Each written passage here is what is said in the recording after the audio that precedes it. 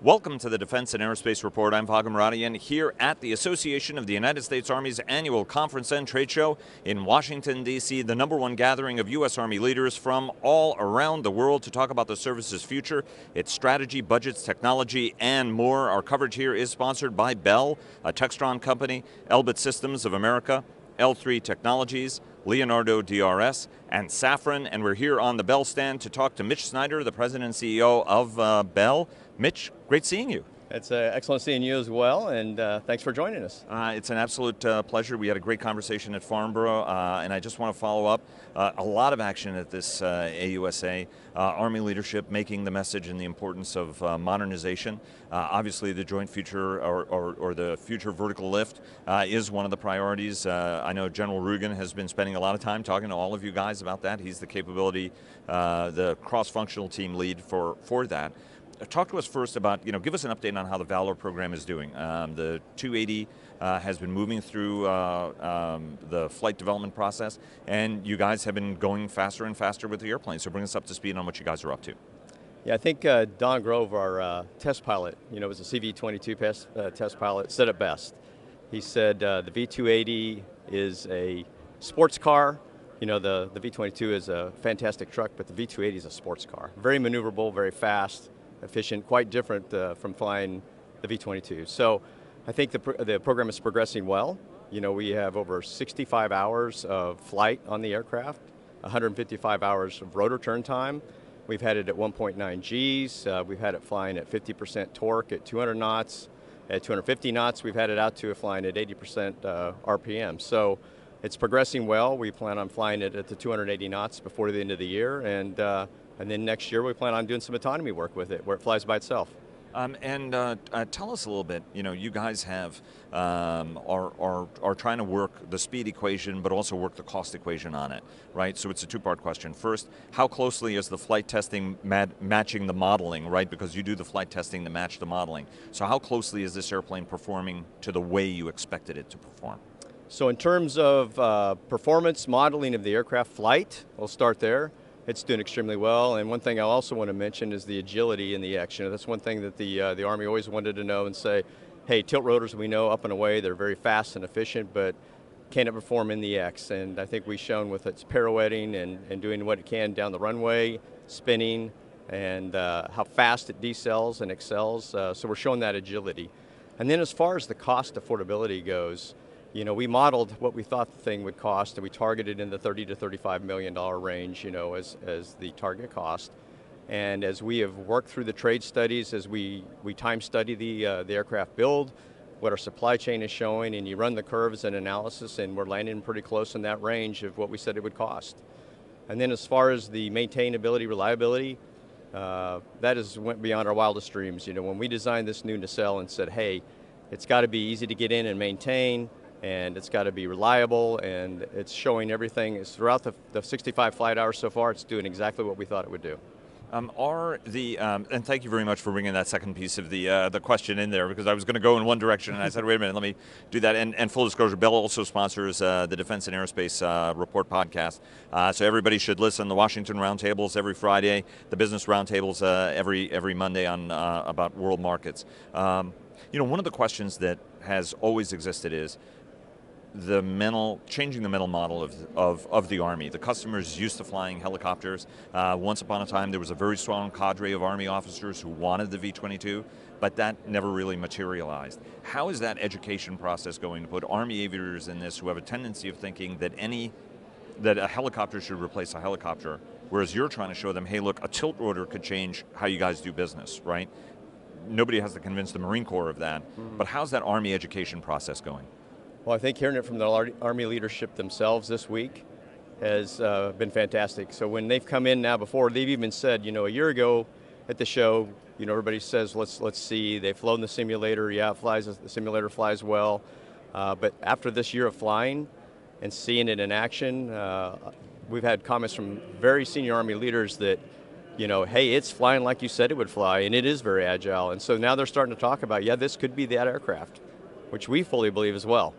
Um, is there any message in the first capability set, though, is a 40 by 46 foot landing area? There are those who interpret that as a very clear message that the Army wants a helicopter for its next scout.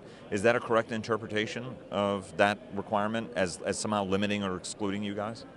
I don't think so. I think what they're saying is that's the requirement. You know, when they say that's 40 by 40, we're going to look at different technologies. As I've said when I took away the helicopter name, you know, we invent flight and flight experiences doesn't mean we don't do helicopters as well. So, you know, you look at the, the innovations that we've got going on, we've got the requirements now for that CapSet 1 and we're working on the design and we actually have a really cool concept that I think is going to meet all the requirements, if not exceed them. And uh, we look forward to uh, the Army seeing that later this year when we submit the proposal. Um, and for anybody who doesn't know Bell's history, right? I mean, the Airacomet was uh, the first jet was a Bell jet, and the first supersonic aircraft was uh, the Bell X-1 was was uh, a Larry Bell uh, product as well. Um, Let's talk about the 247, right? I mean, it was extraordinary to see it in model form, but it was really great to see it in modern day Marine. The um, unmanned, multi purpose uh, tilt rotor that folds up to the size of a UH-1, uh, a little bit, a little bit close. Right. You know, UH-1's got a little slimmer of a tail, right? But the footprint is roughly the same, and you can squeeze it into a garage of a DDG-51 as well. Um, any Army interest in that platform, if you look at it, it can do so many different missions Talk to us a little bit about perhaps the Army opportunity you see there, even though you guys are sort of targeted for a Marine requirement. So I think we are, you know, again, the MUX requirement was the, uh, the program we were going after initially when we designed the 247. But as you said, if you start looking at next gen UAS requirements for the Army, uh, we fit in the top end of that as well if you look towards a Group 5, a, a larger UAS capability. And we believe, like you said, we've designed it to be very flexible and modular in its nature so that it could be multi-mission. In fact, even the Marines wanted to do six to seven different types of missions. So we believe that it could do those missions as well as the Army missions. And the most important thing about that, though, we'd like to say, is we did the V-280. We went from a clean sheet to a flying aircraft, and it's flying fantastic in a very short period of time.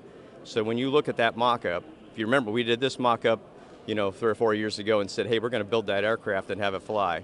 So now you're looking at the mock-up of the 247, and we're saying, hey, lowest risk, we know how to build it, and we're going to make it fly in four to five years, as, as we've said for the Marine Corps. But we do believe there's an Army uh, requirement that we could fit out there.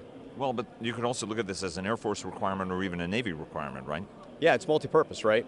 So it really comes down to what service is looking for what kind of unmanned capability. But if you want something that uh, you know can take off vertically from anywhere and then fly you know 350 nautical miles, stay on station for eight to 10 hours, all kinds of payload lift, so yeah, it could go to any service. And even uh, even a rescue mission, right? I mean, you could put pods on the side of it and pick people up. We've actually talked to the United States Air Force about that for some sort of uh, long-range personnel recovery in high-threat environments. We could have side pods on the 247, fly it in, land it, have somebody climb in and get them out of there. Um, amazing. Let me ask you about um, the cross-functional teams. Futures Command is the way of the future. Uh, obviously, I think the Army leadership has made clear about that. Whatever debate was, it's over, uh, as the leadership has said, and we're moving out with it. And you can see the advantage of having very experienced operators build the requirement and then be paired with acquisition folks who can help deliver it. We had a great conversation with uh, General Gallagher, who's the cross-functional team uh, lead on networks, and then uh, Dave Bassett, who's executing that at PEO uh, C3T from the standpoint of a CEO, though, is there the kind of clarity uh, you need in terms of how to interface with the customer, who's doing what? Some folks have said that they could, they would like a little bit more clarity, and even Secretary Esper told us, you know, look, we're, we're working our way through the problems, but as somebody who, who Army is one of its most important customers, how are, is, is there that clarity of out of the new structure that you'd like? I think the Army's doing the right thing in making it more clear. I think you see where they've you know, started off with saying, hey, we are going to modernize our forces. I think it was great this week when they said we wanted modernization done by 2028, or in the works, right? That we want to have a new modern army by that timeline. They've laid out their priorities, the six priorities. They've stood up a futures command. They've got the CFTs functioning. We're starting to interact quite frequently now with those. And I think what we've continued to say is, what you see behind us is the poster child for tremendous success for Army modernization. It had a five-year head start, it's flying extremely well. Let's lay out the requirements and an accelerated acquisition process and you will for sure have this on the ramp in 2028. Um, are you satisfied with the schedule they're operating at? I mean, you know, there was a concern in the vertical lift in the industry. Uh, did you see how I said vertical lift industry instead of helicopter? Uh, uh, uh, that that it wouldn't be moving fast enough. That these programs were too far in the future. Are you satisfied with the, the schedule and pace of everything that you're seeing coming out of the service? So I think yes, where it's at now, right? Because the Army have, have said this week we want to modernize by 2028. So you haven't heard the 2030s anymore. You're, they're saying we need something in 2028 within 10 years. So now they're, what you mentioned earlier, the CFTs, they're working on how do we accelerate these schedules, how do we get the budgets in place, and how do we make this come to fruition by 2028. So the new schedules are starting to work with us on, and like I said, when you see what we've done, clean sheet to flying in by 2017, the amount of flights we have on the aircraft, this could quickly transition into a program that they could have that on the ramp by 2028. So I think the schedules are getting there. Uh, let me ask you one last question. The White House uh, last week issued its uh, national um, industrial health report card. Uh, the president started that process in mid 2017.